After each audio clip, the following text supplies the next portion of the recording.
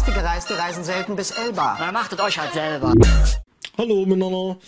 Ja, wie ihr seht, mein Bastelplatz ist gerade ein bisschen belegt. Ich bin ja am ja, LED noch weiter testen und so, Joule-Wicklung und etc.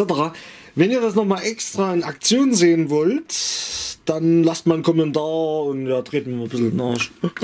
Beziehungsweise ich mache das dann halt, wenn hier aufgeräumt ist, wenn ihr wollt. So, und zwar habe ich hier die zwei Schaltungen. Ich kann die euch, wie gesagt, jetzt nicht in Aktion zeigen. Meine treuen Zuschauer kennen das auch schon oder können sich jetzt vielleicht auch daran erinnern. Ähm, ja, wir haben einen Step Up und einen Step Down, habe ich hier selber gebaut. Vor Jahren schon. Und hier ist mal, das ist die Step Down. Genau, Step Down Version.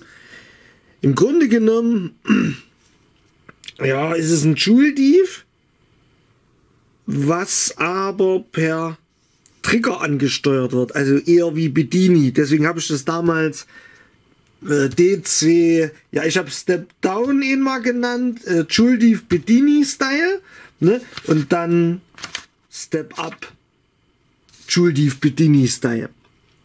Weil, also es geht halt darum, in dem Fall hier muss ich das Ding, glaube ich, sogar anwerfen.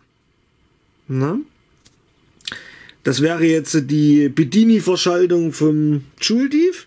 Hier hast du die Abnahme, ist klar. Und eventuell, das weiß ich jetzt nicht, weil ich die Schaltung ähm, ja noch ein bisschen modifiziert hatte, glaube ich. Also hier ist die Schaltung. Und na, hier ist das 100k Party müsste das sein. Genau. Und das ist jetzt mit Luftspule als Step Down. Ne?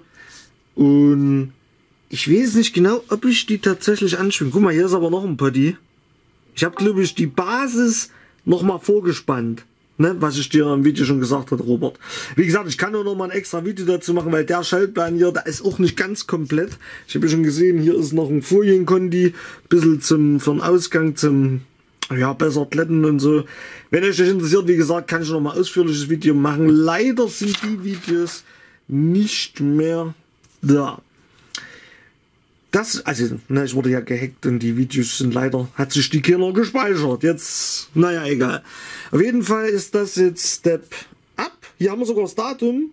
11.07.2018 und das 29.08. Ja, wir haben später gemacht. Das war das erste so Bedini-Style. Ähm, das ist schon ein bisschen komplexer. Hier ist auch mit Anzeige, Ampere und Volt und ähm, Jetzt muss ich kurz überlegen. Und zwar fehlt hier eingezeichnet das Potty, das habe ich durch einen Widerstand anscheinend ersetzt. Aber es geht auf jeden Fall so, so ist ja der Plan. Ich habe das dann eventuell noch ein bisschen, bisschen optimiert. Und hier siehst du, Robert, also es ist über der Basis, wie Bedini-Schaltung. Und die LED, die grüne LED, geht über 22K an V-In. Also ein BD 250C, das ist, müsste NPN sein, ne? Ja, plus, ja genau, müsste NPN sein. Und das ist diese minimale Vorspannung, was ich dir gesagt habe. Ne? Das ist wirklich nur, dass da hier. Nee, das ist ein PNP sogar. Ja, habe ich ein PNP gebaut? Ja, moin, ich sehe leider auch die, die Transistoren nicht mehr. Die sind hier an Kühlkörpern nach unten geschraubt. Kann ich leider nicht sehen. Egal. Ne? Und okay, das ist jetzt eine PNP-Version. Da ist das NPN, glaube ich. Genau, das ist NPN.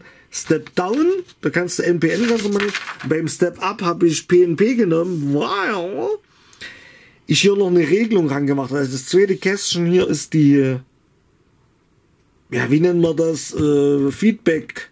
Du kannst quasi über das Potty kannst das Feedback einstellen, wann, also ich habe so hingeschrieben, Trigger geregelt, also dass der am Ausgang halt regelbar ist. Ich sage jetzt mal, bis ich stellst du deine Ausgangsspannung ein und dann bleibt die halt dort, weil da hier mit dem Transistor dann hier die Basis killt. Ne?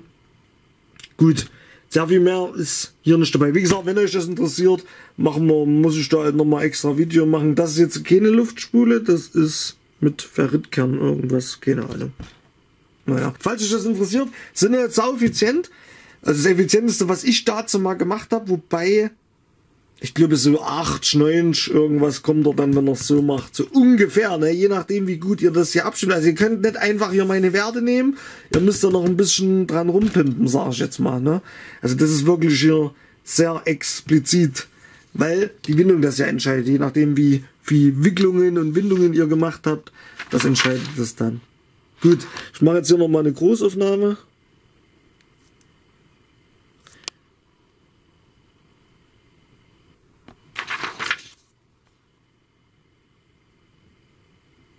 So, haut rein.